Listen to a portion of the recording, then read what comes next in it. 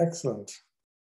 Well, let's start with a round of uh, introductions uh, here. So that's the third panel uh, that we've got in our series. And we've got a whole, well, we're not short of questions. Um, we were uh, anticipating uh, Tanya to join us from South Africa, but uh, unfortunately, in her area overnight, she informed us they've got a power outage that's now happening exactly at this time. So uh, she won't join us, but she's uh, she's recorded uh, related material that uh, she'll make available, and I'm sure we'll meet her on a, a future panel.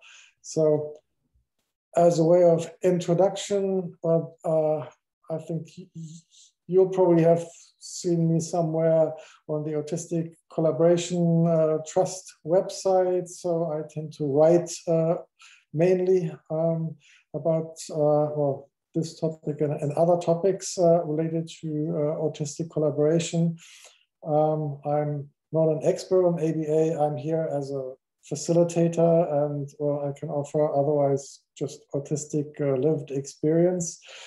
Um, Kim, do you want to briefly talk about where you're coming from? All right, uh, my name is Kim Crawley. Uh, I'm a cybersecurity writer and researcher. I currently work for a company called Hack the Box. Uh, I'm 37 years old now. I was diagnosed with autism and ADHD at age 34 after a childhood and adolescence and young adulthood almost getting diagnosed with things and then being prevented from diagnosis. So it was suspected that I was autistic since I was a toddler, but I didn't get formally diagnosed until I was 34. And learning more and more about how neurodivergent people get abused and about how the vast majority of the so-called treatment for us is, is, is abuse and it doesn't help us and it just traumatizes us. And to not trust anything that people who aren't autistic say about autism because frankly it's all bullshit. It, like all this and like the history of abuse and conversion therapy behind aba and all that it's, it, it's so disgusting. And i'm willing to fight and to use my relative position of power to be very vocal against how autistic children and young adults are being abused now. So that's all I got to say. Thank you. Um, Star, it would be great to hear a little introduction about you. I mean, I think we've communicated with each other uh, for a whole number of years. And uh, I mean, I recall uh, coming across uh, your big book uh, many years ago, and that was such a delight to, to read. So uh, uh, introduce yourself to the audience and, and the people who are going to listen to this.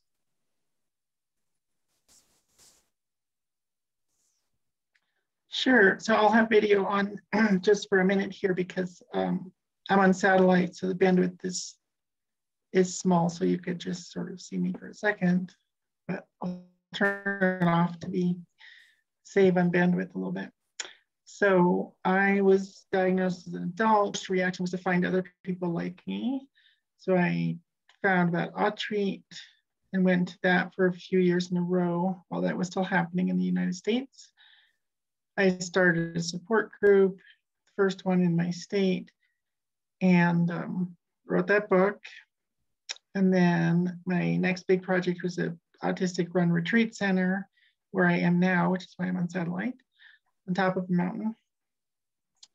And um, so that retreat center is in progress and uh, I won't say, I guess I don't need to waste time saying any more about that. But um, also I'll just say a tiny, I won't say anything about it, but I'll just sort of raise the topic of social media and the way that autistic people are organized these days has been very marginalizing for me because I can't effectively communicate and contribute in that realm.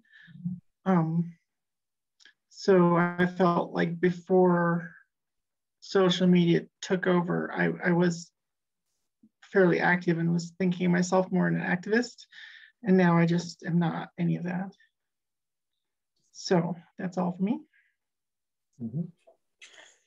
Well, thanks very much. And I think this is, I think the last thing you said is, is a very important uh, message that, of course, these days, uh, a lot of um, activism is related or, or, happens on social media. And this is just not uh, something that um, some or, or, perhaps many autistic people can sustain. I, I, know this from myself. I mean, I, I am uh, active on, on, on Twitter to, to some extent, but it's it's painful to to be forced to interact on that type of platform um, because it's uh, as far as I'm, I'm, I'm, concerned it's it's well it's the opposite of the the way that I uh, would usually uh, well want to engage with people um, and the only way that works for me is uh, well I just only um, interact with people that I can relate to, and I just cut out any anything else. Um, and um, but still, yeah, these platforms are are not made uh, for us, and it's I think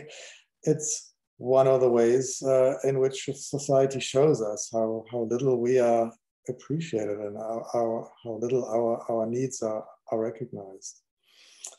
Um, so to to start off here with these questions that we've got.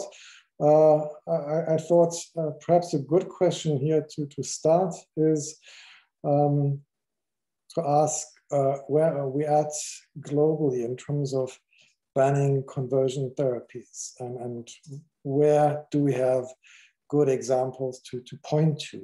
Um, and as a way of introduction, um, what's got me uh, thinking and, and, and, sort of now what basically triggered this series of, panel discussions and also the uh, related uh, petition we're running here in Aotearoa, New Zealand, is that I noticed last year in a very positive way that more and more uh, jurisdictions um, have uh, talked about and are now starting to enact uh, legislation against conversion therapies uh, for gender nonconforming uh, people. And I found that to be extremely encouraging. And, and, and so this made me think, yeah, the, the timing is right to do something about this.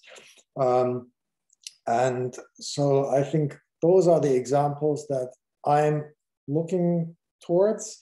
Uh, and well, uh, in the process of starting this petition here in New Zealand, I looked around to discover uh, a few petitions that I could find easily on the internet in other jurisdictions now also uh, towards banning um, conversion therapies or, or, ABA as it's mostly uh, called for autistic people.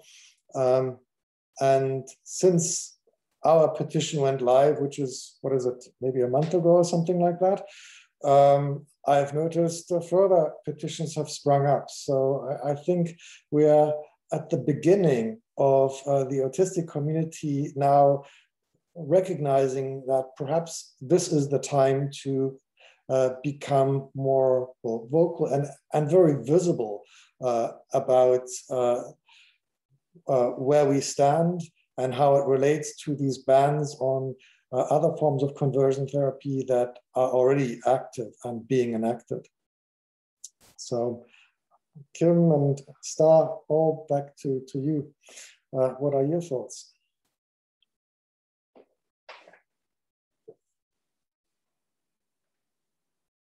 You're on mute. I'm very, very happy to hear about gay and trans conversion therapy being banned in Canada. Unfortunately, our politicians, our supposedly leftist politicians, declare we have banned conversion therapy, as in that that's it, all conversion therapy therapy has been banned, like as if the government paying for ABA isn't conversion therapy. So it's very, very upsetting. I know a lot of autistic people are gay and a lot of autistic people are trans.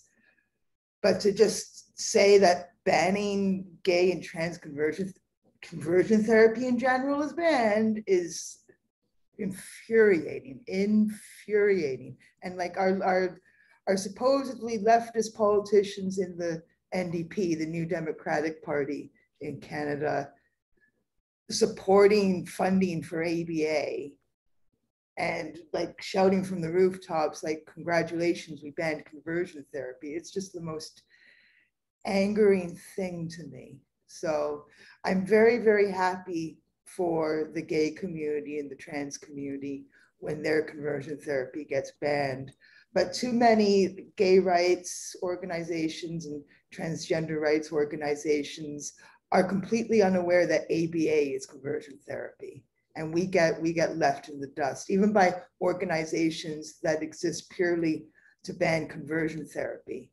All like a number of the Twitter accounts that have usernames like stop conversion therapy and stuff like that. They completely ignore that ABA exists and that autistic children are subjected to it. So I was really pissed off.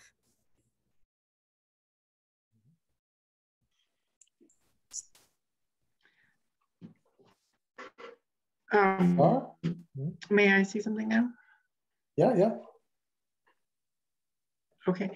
Um, I'm so one of my biggest points of confusion about this is that there's two historical trends that are both happening at the same time and I don't know which one is more powerful or more you know indicative of the future. And so one of the trends is the one that everyone talks about which is that you know a long time ago we had institutions where there were just rows of beds where all of the people who society throws away go and basically just get fed, but otherwise ignored.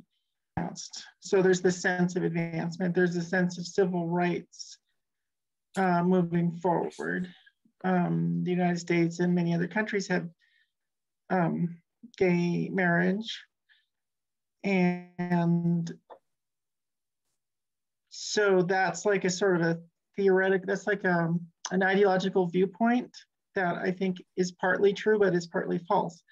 Because the other thing that's happening is that the industries that take care of different people, um, whether it's disabled, elderly, children, teaching summer camps, you know, just the whole range of of our of the sector of our economy that that takes care of people is carving out more and more exceptions to people who are not acceptable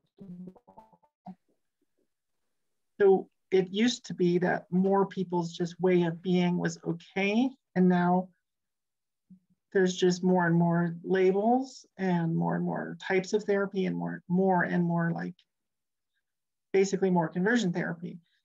I, my fear is that that second sort of ideological historical trend is the more powerful one and that we are actually losing the battle even though there's certain cases where you know we did get marriage equality and we got a few things like there's civil rights things that have happened but i think we may be losing overall. So i'd like to know what everyone else thinks about that that's i think a very interesting observation and it uh, relates to what uh, i uh, often refer to as the hypernormalization in our society that is where I, I, think I agree with you. The, the, the trend so far has been um, increasing hypernormalization. So the, um, the, the growth in uh, well unspoken uh, well, you could almost call them standards that people are supposed to conform to. It's just, uh, we can look at, at Western industrialized culture, right? I mean, there is only one acceptable life path for all humans in, this society, and that starts uh, well, you're born, then there is an entire education system mapped out for you uh, with very little choices. Uh, usually, then you're expected to uh, get a so-called job, and then when you're no longer useful, when then you, society basically retires you. Uh, and um, I think uh, this, I find that is a concerning symptom of, uh, of the kind of society we, find ourselves in. And uh, increasingly, I think anyone who, uh, well, diverges from this very standardized path um, is pathologized. And uh, to, to, perhaps uh, yeah, elaborate a bit more, especially the, the, the, world of jobs is, is hyper uh, normalized. I mean, yes, it's, it's like in a supermarket, there are choices, but you have to basically pick one of those cookie cutter uh, choices. Um, and then uh, society dictates what's acceptable, what's not acceptable. Um, and that I think makes life uh, very hard, if not unbearable, for increasing numbers of people.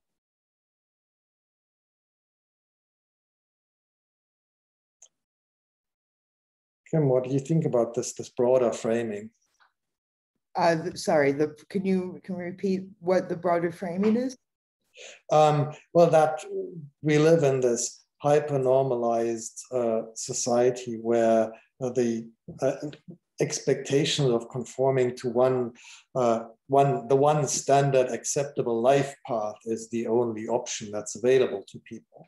Oh, like the you go to public school and you you graduate high school or whatever the equivalent is in your country and then you go to college and university and you get your degree and then you go on to get a career with that degree yeah, it does fail neurodivergent people. I dropped out of school when I was just just just before I turned 16, like the earliest I could do so legally, because it was I wasn't diagnosed with anything when I was in public school, and I tried. I tried so hard, and all the bullying and being you know being given horrible grades once I was in the gifted program, and everything, all the all the ableist components of the public education system in Canada, which is probably similar to other countries in the West. It was just it was just brutal for me. I had to leave. And I I was very lucky. I'm in a position now that you would normally need like a bachelor's or a master's degree to get into. Like I, I'm a cybersecurity researcher. I'm a tech company blogger. I write books about cybersecurity. I never graduated high school and I never formally went to college or university.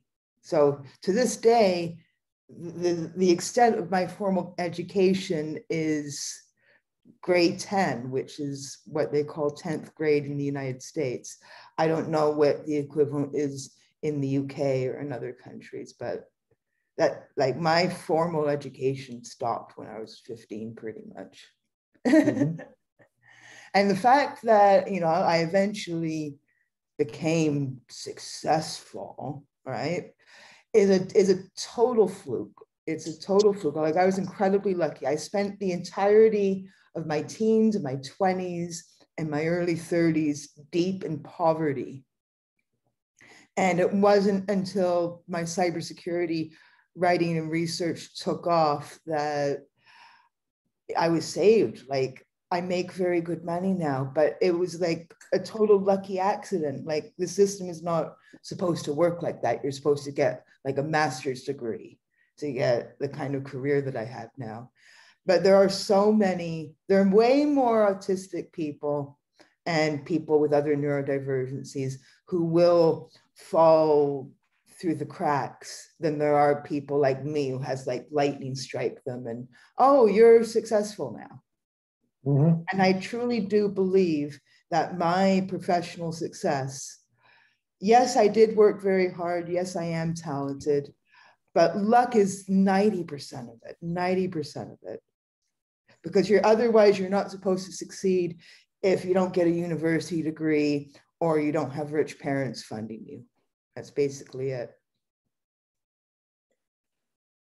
Yeah, and and perhaps uh, we just need to explain to non-autistic viewers or, or, or, listeners here why uh, this hypernormalization is so toxic and un well unbearable or unsurvivable for autistic people in particular, because I think uh, many people in the Western world experience extreme levels of cognitive dissonance. Uh, and they, uh, so they, they feel unwell, they feel under immense pressure. Um, I, the distinguishing factor, I think, with autistic people is that we simply, well, we can't maintain that cognitive dissonance. And so we have uh, mental needs, we have physical needs, uh, we have social needs, and uh, we can't suppress those needs uh, to the same extent as neuronormative people. Um, and that gets us into trouble with the system much earlier than, than most people.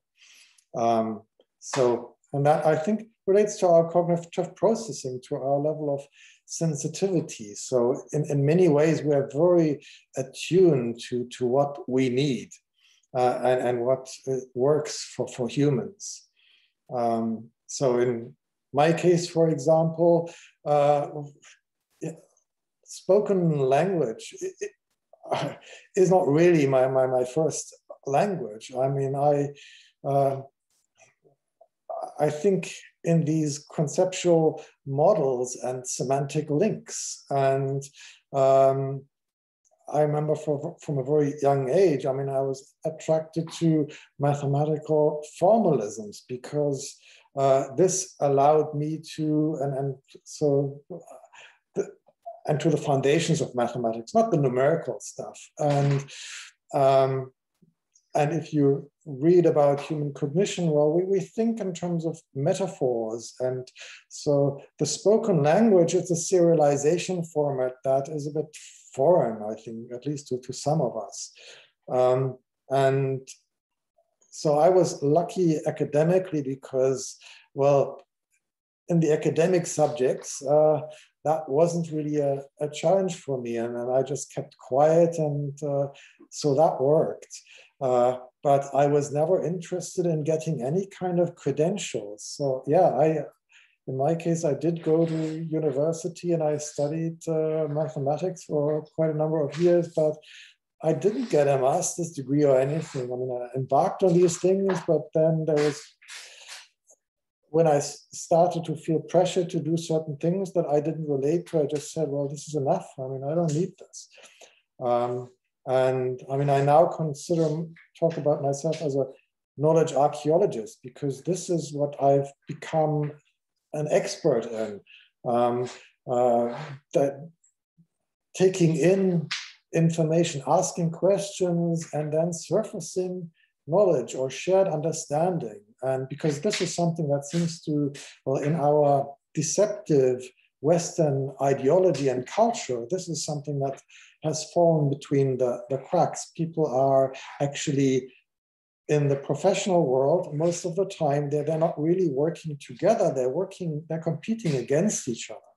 Uh, but uh, society pretends that that's not the case, that everything is just uh, nice and well. Um, and yeah, so, and this now brings us back to the topic of conversion therapy because uh, society, I think, pressures us into these uh, this very uh, yeah strange and inhumane level of standardization, this game of pretending. Um, so, and I guess now coming back to the, the question, where are we at in terms of banning conversion therapy? So on the one hand side, as we just saw, things are, I think, getting worse. Uh, and but if we look at the also if we look at the bans that I've been able to find uh, on the internet, this at the moment I'm aware of the the, the bans that have been enacted or that are in progress in the Anglosphere, and in all the same countries we can now see visible movements uh, towards banning ABA for autistic people. But I think what I'd like to explore also in this series of panel discussions, and we won't get to the bottom of that, that of course in, in this panel here, because I think we all we all live in the Anglosphere, is the, the rest of the world is a bit unknown, I think, from most of our perspectives. So uh, if anyone here can point us collectively in the direction of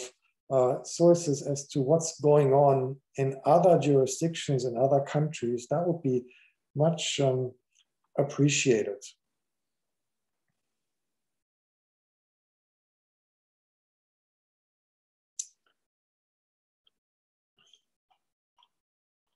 Um, I don't have information on non-English speaking countries, but a small point I would make about that is that when I read things about autism from the UK versus stuff from the United States, the tone and effectiveness is so different because, and I think that the reason is that the money flow is very different. Um, so in the UK, they sort of do things because they're considered what needs to be done, and then you find funding for it. Whereas in the US, it's you you find a market and then you you're an entrepreneur and you then you like go into ABA because of the money. And then the money follows. Um, so it, it changes um, the tone quite a bit between those two countries. Mm -hmm. Yeah, I, I think this commercialization of, of ABA in particular seems to be something that yeah has, has really taken off in the United States. And I mean, there, I mean, what's, and I've been writing a couple of articles where I have these links to uh, this, well, what I refer to as the autism industry. It, it really shows it's seen as a business opportunity, as an investment opportunity, as something to make uh, millions of dollars uh, by uh, uh convincing um, parents that their, their children need to be uh, well, treated. Um, so, but I think uh, from what I have seen um, internationally from talking to a few people, some of which hopefully we'll uh, get uh, to, to hear from in, in, future panels. In, in, I think, other countries, for example, in Asia, it seems that, or I suspect, and also having visited some of those countries, I suspect that there the um, pressure for conformance uh, on autistic people comes from a slightly different angle. So this is maybe important to understand. So in the Anglosphere and the Western world, I think one of the main challenges that we face is that, um, well, this continuous need to uh, promote ourselves or as, as you know, as a professional, uh, the, to sell ourselves. I mean, this is just completely unnatural for autistic people. And that's ultimately what disables us completely in, in this society. Um, whereas uh, from the bits and pieces that I've heard uh, from uh, autistic people in Asia, I suspect the main thrust there may simply be um, well, the, the rigid norms within those societies. Uh, so, because in, in, some ways, in these Asian cultures where there's, uh, well, not there isn't this demand to sell yourself, there is eye contact doesn't have the, the same significance or, is even not, not appreciated in, in the Western sense. So there are some aspects where you could say, oh, this is actually could be really nice for autistic people. But I think then in other aspects of life, uh, there is still this enormous uh, conformance pressure. And I, I, think it's well, the, the, economic system there, of course, uh, the global economic system exerts additional pressure. So that I guess what I'm trying to say here is in different places, autistic people run into these conformance, into different types of conformance constraints. And in all cases, this is challenging. And uh, so from what I am st I'm starting to understand is that in even in these Asian countries, well, some of these Western techniques like ABA are starting to take hold with respect to autistic people, but the motivation for applying these things may be slightly different. The really shocking thing, though, is that um, it seems that people in Asian countries are often, well, they feel, seem to feel unsafe even to articulate the dark side of, of ABA. Um, so uh, that means globally, autistic people currently are in a, in a very bad uh, place.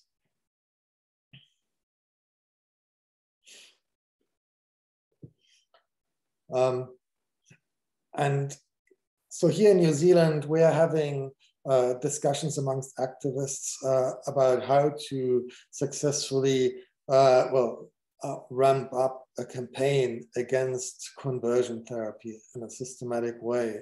And one of the topics that uh, we've uh, that has come up here, and I think also in, in online discussions internationally, is this question of how do we shut down derailing arguments about new forms of ABA, I mean, the rebranding in terms of positive behavior support that's already out there. And uh, in the future, I think we may expect, you know, the same, well, similar uh, approaches coming up under new labels, uh, where all these approaches really, they serve the established ABA practitioners who don't want to stop and not the, the people who are on the receiving end of uh, what's what is being practiced. Uh, so I'm keen to hear what, what, what your thoughts are on, on this topic.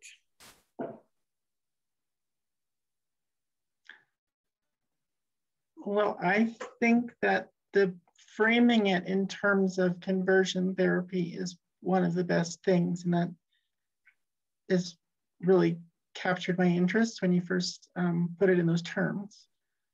And I think another term that could be used is colonization, uh, just because that's kind of a, a, a, global catchphrase among activists in the English speaking world and, and you know all over. Um,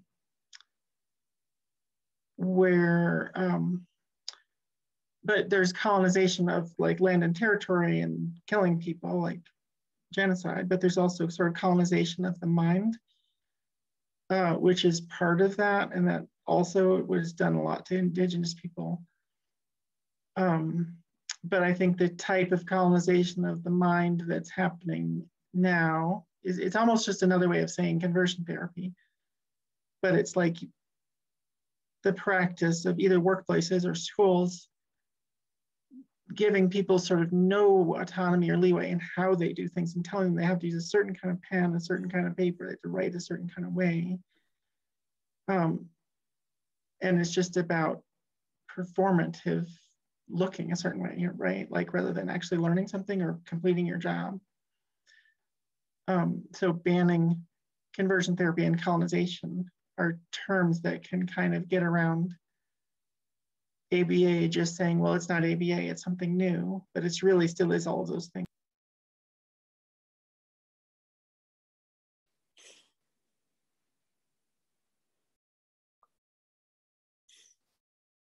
Kim?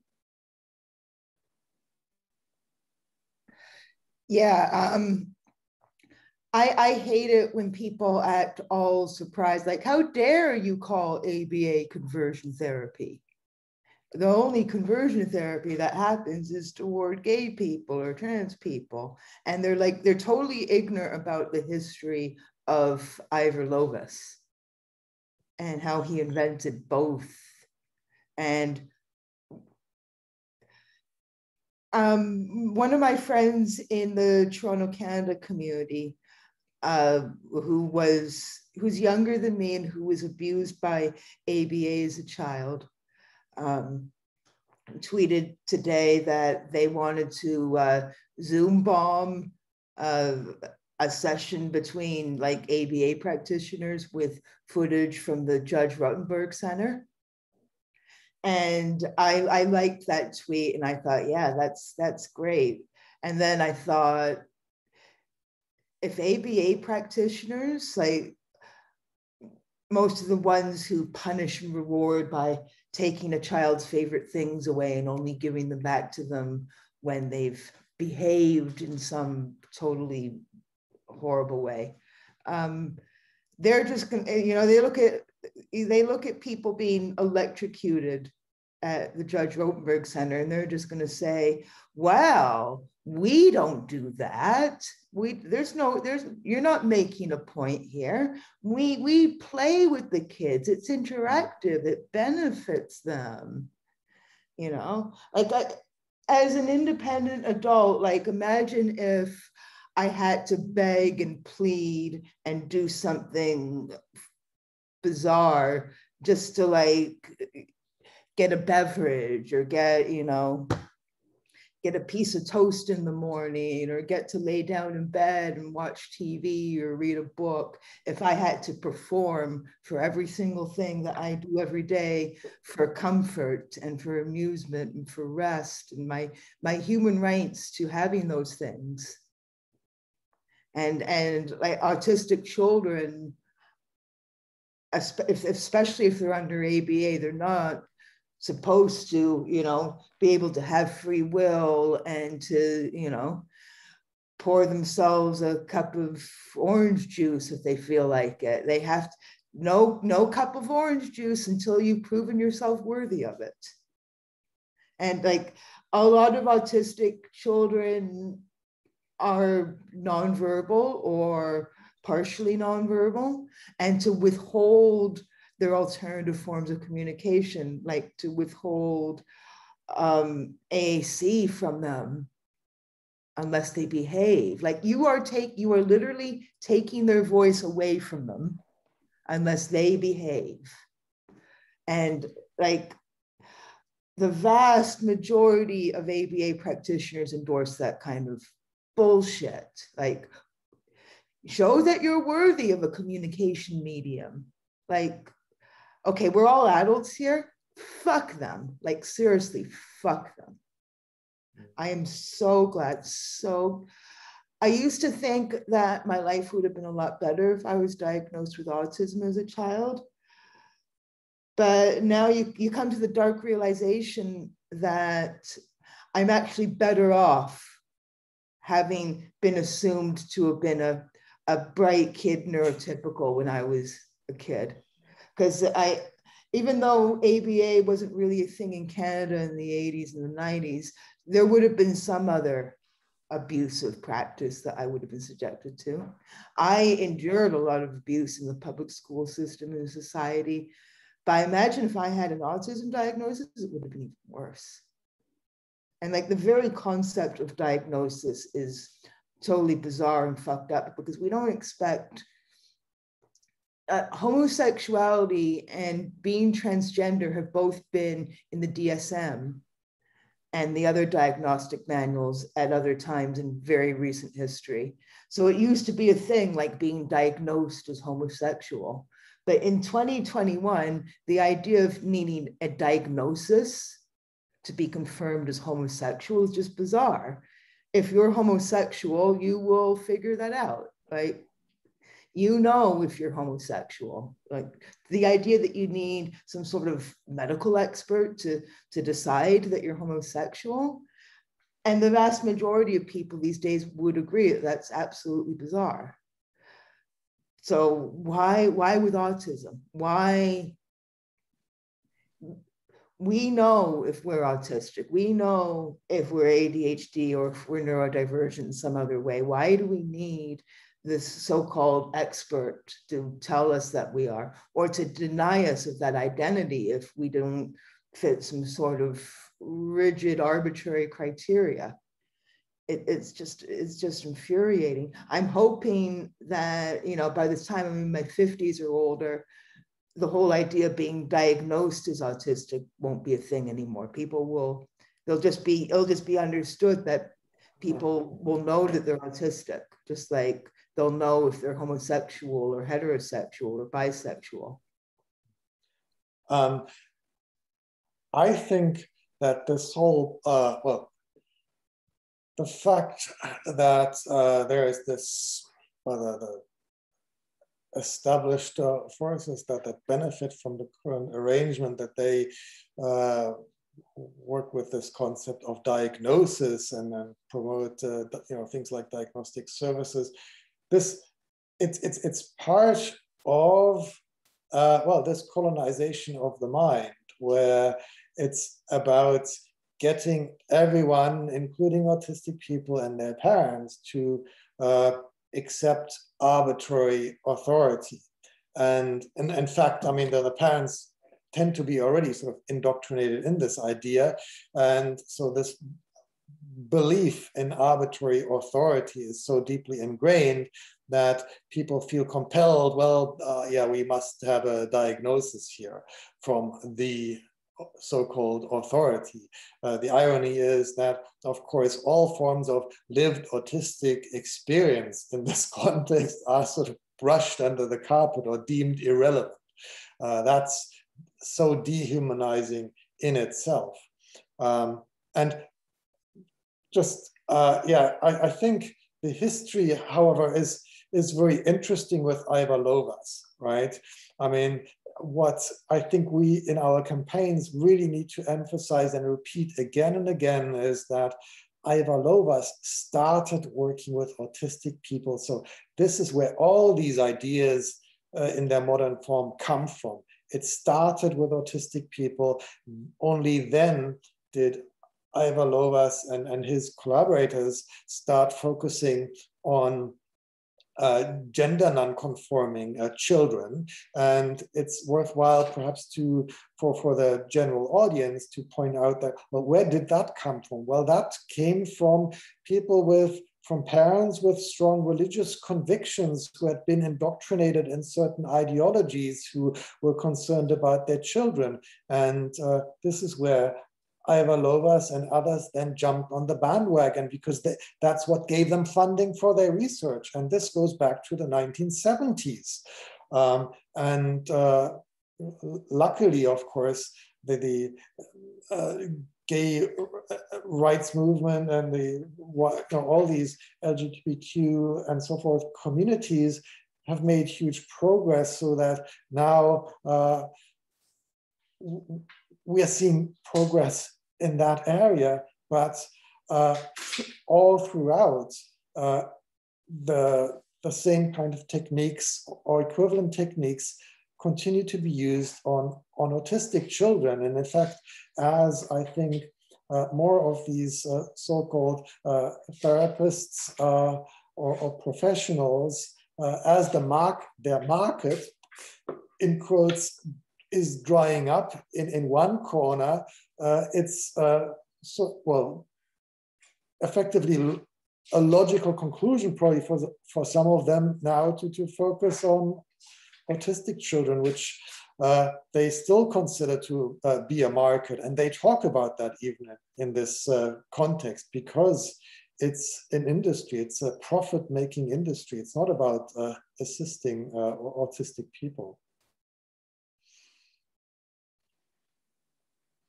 Um, and so I've been thinking about how we can uh, yeah, assist those people that are caught up in the industry. So um, I think with, well, we could hope perhaps that some professionals also experience some level of cognitive dissonance about what they're doing. But I mean, those who've been at this for years, uh, they perhaps lack some level of sensitivity. I mean, otherwise they wouldn't be doing this. But uh, I think there, in terms of a campaign, it may be worthwhile focusing on the parents because as we discussed at the beginning, I think many people, regardless as to whether they're neuronormative uh, or autistic, they suffer from this cognitive dissonance as to what our society expects of people. So, and you can hear this in parents when they say things like, ah, well, life is not fair. And uh, basically, children have to get used to that and they have to learn how to deal with that. Um, so, so, this is where this sort of comes through. And if we can uh, find ways of encouraging parents to uh, admit to those things and to start seeing that perhaps autistic people, well, they are simply hypersensitive in many ways and they can see things that are wrong in our society that uh, other people simply don't dare to point out.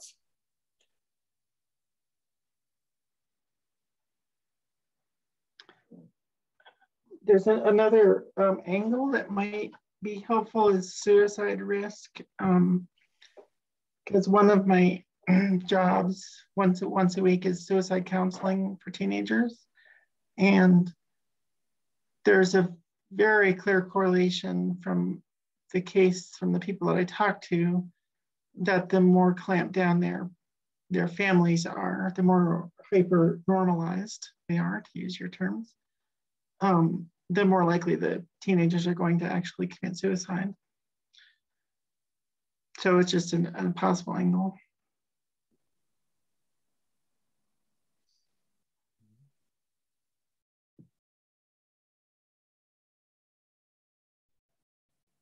Okay.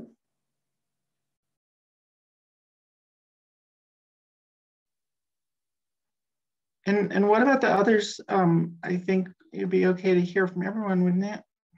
Yeah, if, if uh, so, that's right. I mean, if people here would like to uh, talk and contribute, you, you're, welcome to. Um, so I know uh, we've got some people here who are listening in who may want to contribute to further panels, but uh, I mean, if you are comfortable contributing here and now, please, please do so by all means. So just uh, raise your hand or uh, unmute yourself. Um,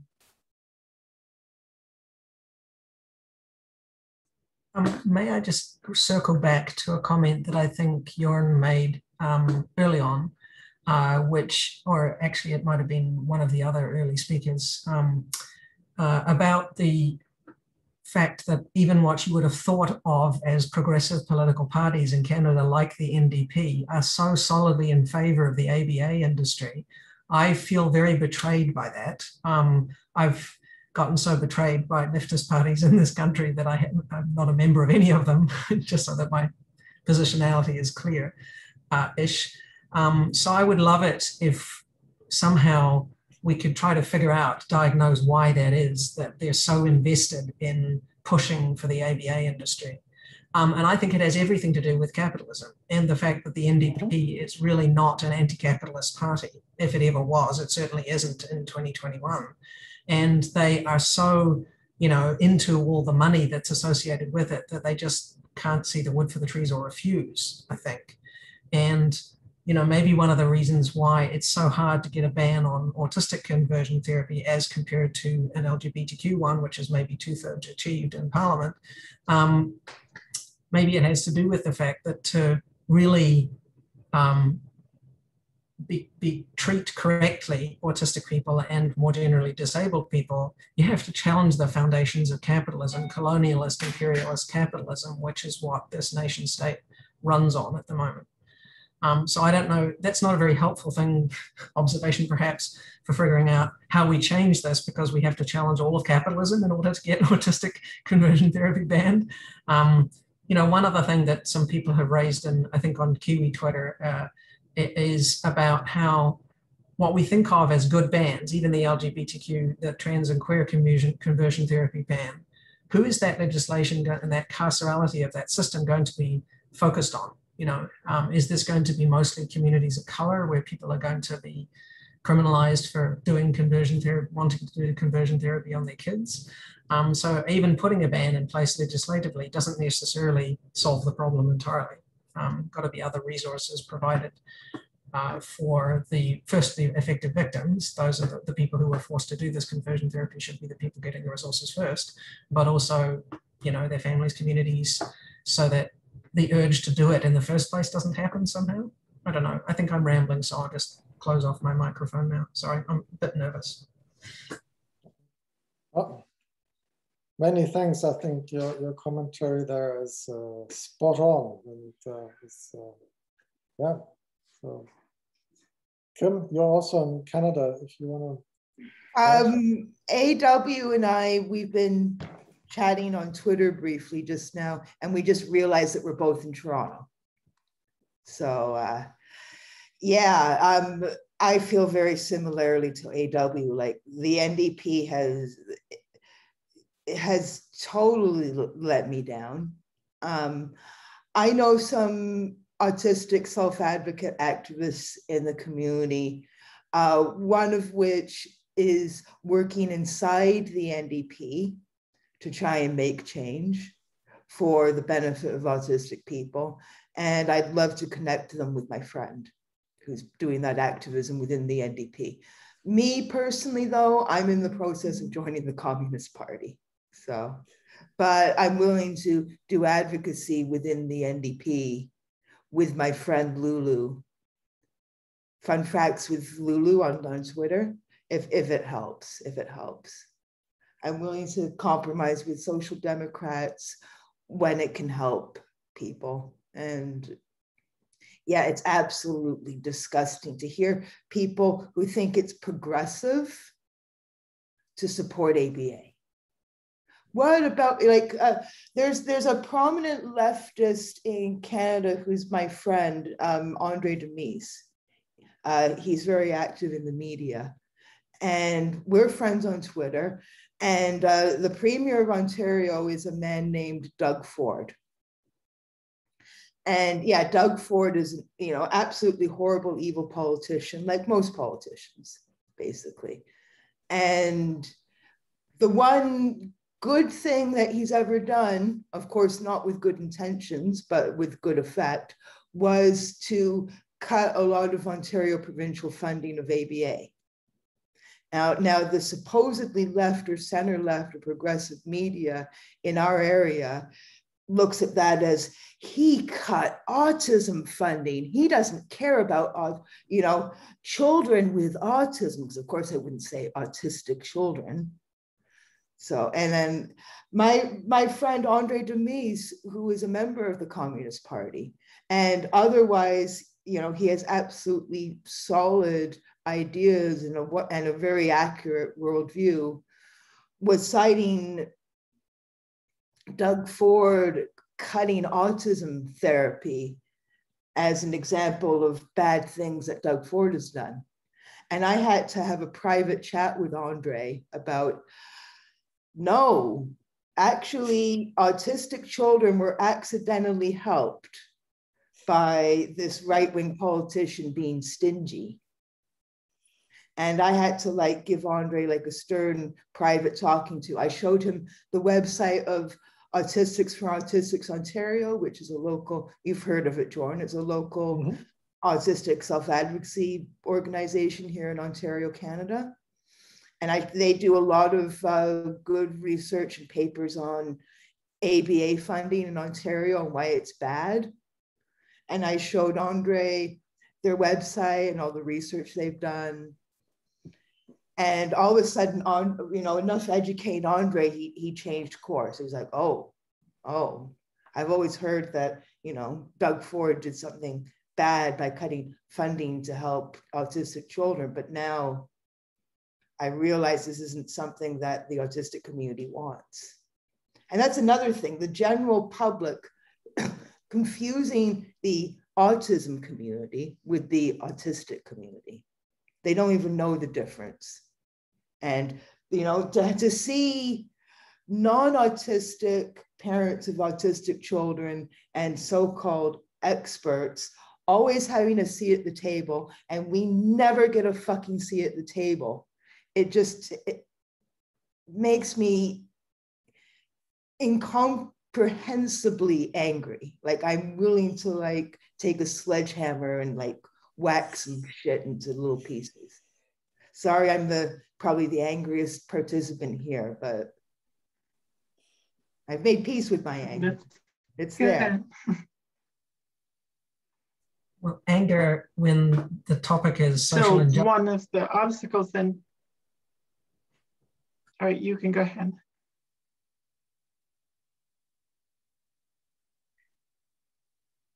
Whoever wants to talk, please go ahead. I've said what I needed to say. Thank you, Okay, Ed. I guess I'll, I'll go ahead then. Um, so one of the obstacles is, I'm just really delayed for my satellite, so that's why I talk over people.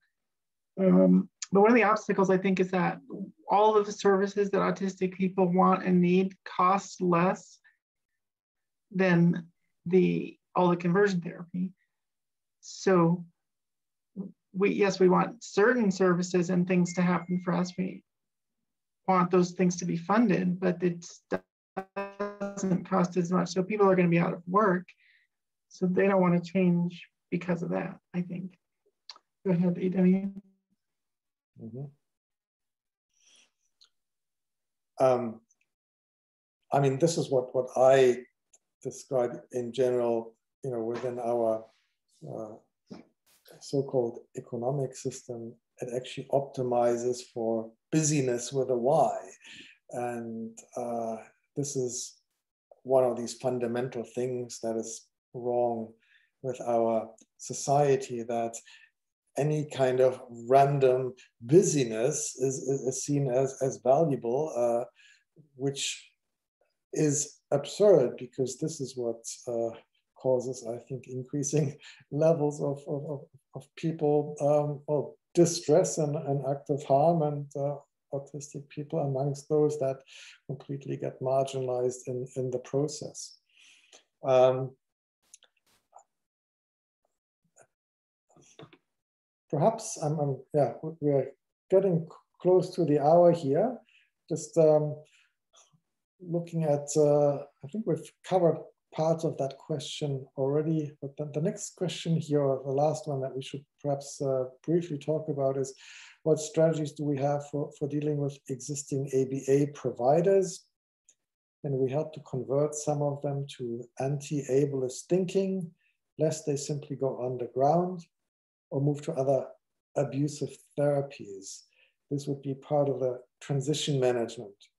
Um, yeah, I think this, we touched on that topic uh, in, in earlier panel discussions. And um, I mean, those, from my perspective, people have been involved in this industry for a long time. Uh, I think from an autistic perspective, it is would be very difficult for, for me to trust and trust any of these people with, for example, autistic children. Um, so, so, there I, I see a, a real challenge. Um, and coming back to the framing, I think it's very important that we continue to use this framing of all forms of conversion therapy rather than just ABA, and to point out that uh, what we're really concerned about are the objectives, the, the level of blind obedience or conformance to arbitrary authority or, or rules that, uh, that this, these objectives are inhumane. Um, they're not, and they are very detrimental to autistic people. And it doesn't really matter what techniques are used to get towards these goals. Um, so I think this would have implications on suitable framing for any effective legislation. I'm aware that this will not prevent some of these so-called therapies from going underground, but at least then from a legal perspective, uh, we uh, are a, or would be in a position to then uh, identify these things and start doing something about them once we, we identify these things going on. Any, any comments, thoughts?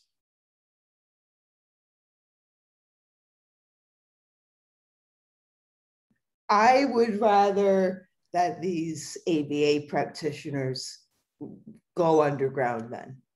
I mean, there's all kinds of underground autism therapies because even the general public realizes that they're bullshit, like chelation, for instance, mm-hmm. and stuff like that.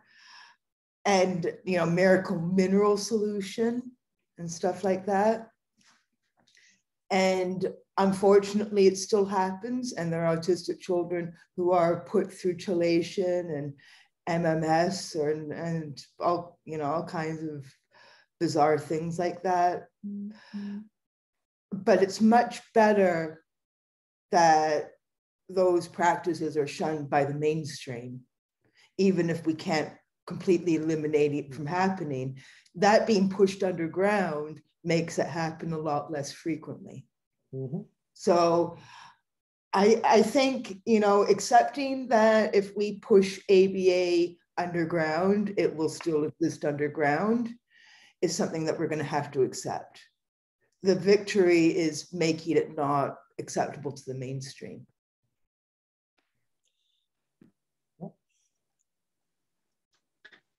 And I think that it's a, like, I don't know if other people have solved this problem, but in my area, it's a, our state only has less than 2 million people. And there's there's only certain people that are autism players. Um, so I basically know their names, but I can't talk to them. Like I, you know, PTSD from this sort of thing is one reason I just can't pick up the phone and talk to them. But also there's there's no forum, there's no place where like the communication channels are just completely closed, even though I've been act, trying to be active in in this sort of thing for more than 10 years in a fairly small um, state. So I don't even know how, why they would talk to us or how to get them to talk to us. It's a very, I'm very confused.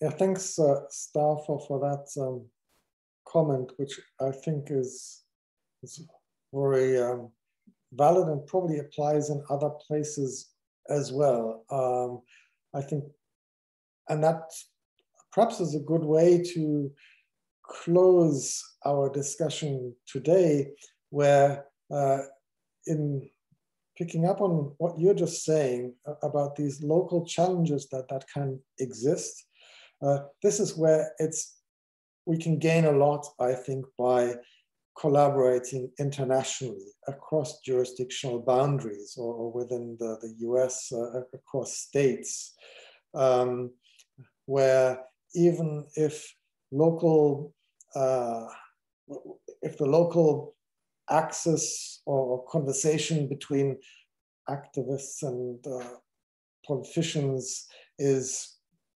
impeded uh, by, and can be impeded by various circumstances that I think it is very powerful uh, if uh, there is visibility of what's going on in other jurisdictions. And so any progress that is made anywhere in the world, I think we can propagate that uh, and talk about that internationally. Uh, and this uh, then ratchets up pressure. And as we have seen with uh, gay conversion therapies. Um, this uh, may then have a catalytic effect and it may enable uh, progress in other jurisdictions. So that's how I see, uh, yeah, why I, I think it's important to collaborate internationally on this uh, for, from an activist perspective and not just to myopically focus on what's going on locally.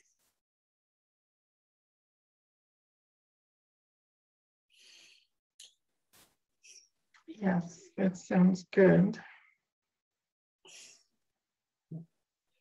Kim, any closing words from you? Uh, no, but I'm like, I'm so glad that Jorn, you you organize things like this.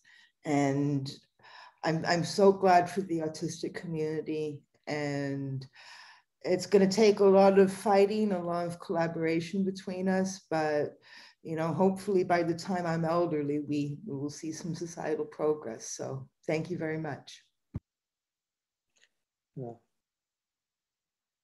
Star, uh, any closing words from you?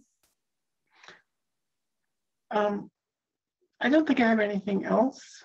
I just also appreciate what you're doing. Thank you.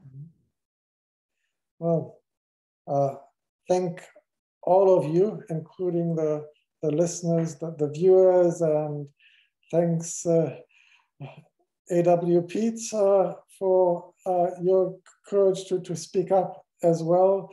This is great to see. Um, as I said in the previous panel, we're only just getting started with this wonderful autistic collaboration project and, and any autistic people who are watching this uh, either now or the recording, you're all welcome to get involved and to contribute your, your lived autistic experience because we not only uh, need to, well, of course, it's very important that we hear from people who are directly exposed to, to ABA from various perspectives, but we also need to hear these other autistic experience like many of ourselves who've been lucky enough never to have suffered ABA being imposed on ourselves, and to uh, perhaps also talk about these alternative life paths that uh, many of us have well stumbled into. And, and, as kim was saying i think there's usually those who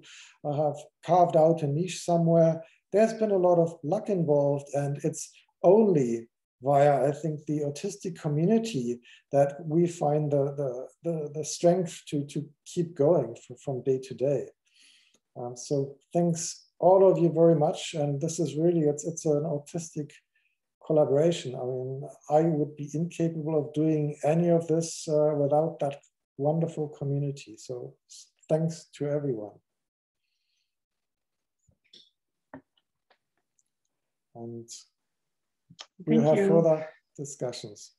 Until Take next care. time. All the best. Bye.